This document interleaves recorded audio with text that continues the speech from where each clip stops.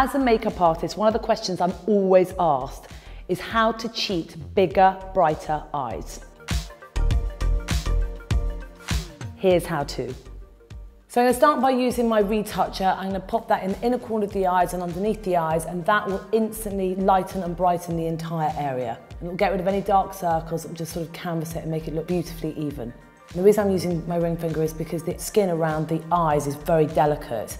So just by patting it in, you must never rub this area as it will kind of irritate it and make it much kind of baggy. You've got to be very gentle with the skin around this area. Next I'm going to use my life-changing eyelash curlers.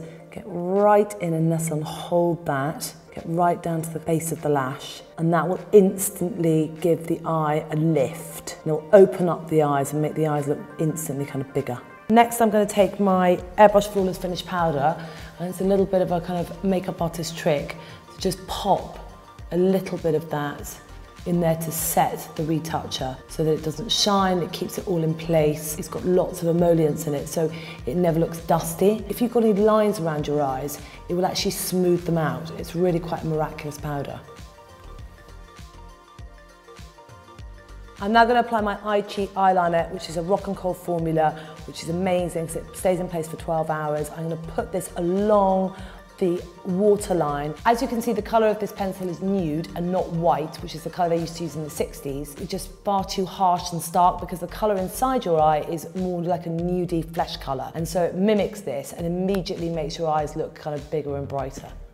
I'm now going to apply my pencil. I'm going to start off by using it in the corner of the eye, dragging it as tight to the lash line as you can possibly get. And then doing a thin line all the way along.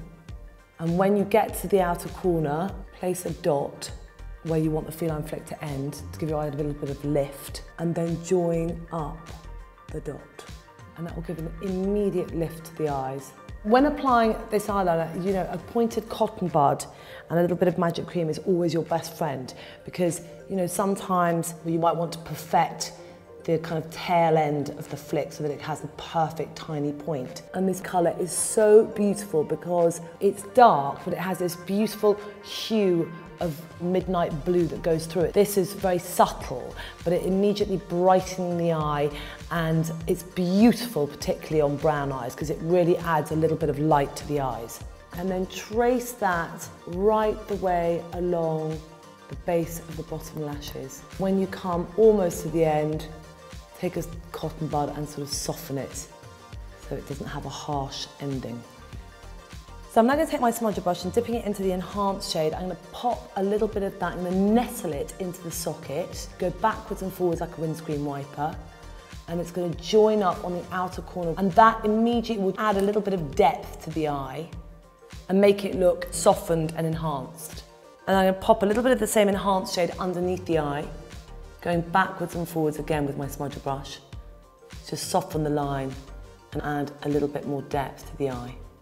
And then pop your smudger brush into the smoke shade and again just go backwards and forwards and that will just soften the line and just add a little bit of depth to your eyes.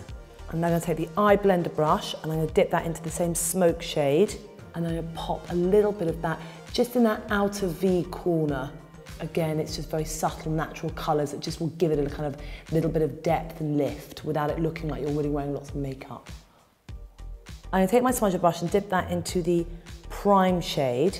And I'm gonna pop a little bit of that in the corner and that will just widen the eyes and make the eyes look a little bit more wide apart.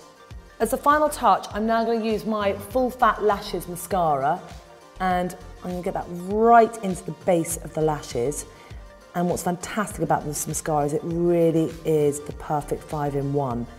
It sort of adds volume, length, drama, it never clogs either, which is so fabulous about it. It really does give you that kind of false eyelash flutter. By going into the outer corner and stretching them upwards and outwards with the brush, which has been laser cut into this five-star shape to particularly do that, it will make you look like your eyes have kind of had a little bit of an eye lift. A great trick with this is to put it on, let it dry for a second or two and then reapply.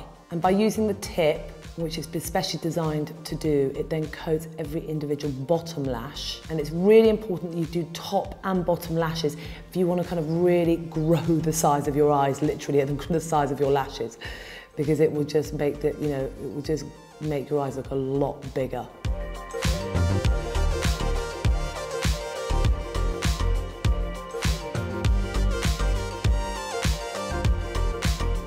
There you have it, my secrets to bigger, brighter eyes.